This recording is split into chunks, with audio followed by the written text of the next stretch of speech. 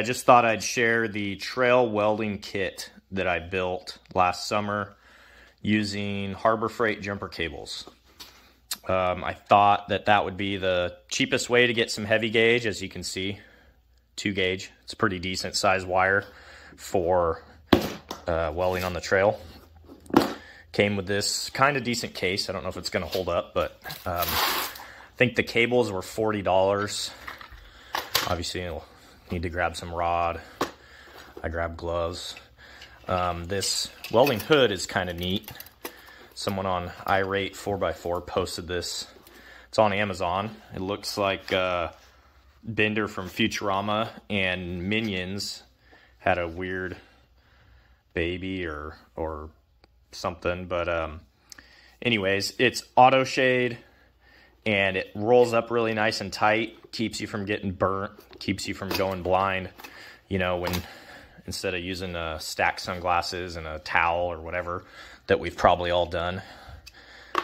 Um, and so what I did is I cut the jumper cable alligator clamps off. I crimped brass eyelets on.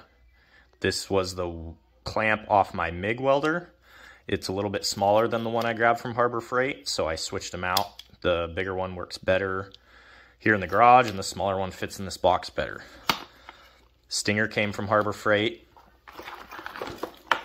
Again, I cut cut all the ends off the the alligator clamps off the jumper cables. I got these off of Amazon for a few dollars. You know, you can pick them up anywhere.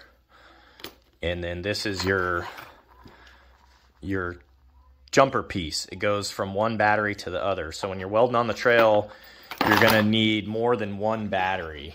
You're going to need at least 24 volts. Sometimes, sometimes three batteries works even better, but this one's only set up for two. So you'll hook this one from a negative post on one battery to a positive post on the other battery. And then you hook this to the empty positive post and then this to the empty negative post on the opposite battery. That runs the batteries in series and it gets you 24 volts. And that's what is going to allow you to actually get some penetration while welding. So um, maybe not as nice as some of the fancy kits that you can buy for a few hundred dollars, but I think I have less than 80 bucks into this whole box and it fits in a case. You can throw it behind the seat um, as long as you got a second battery on your rig or a buddy with you, you can weld on the trail.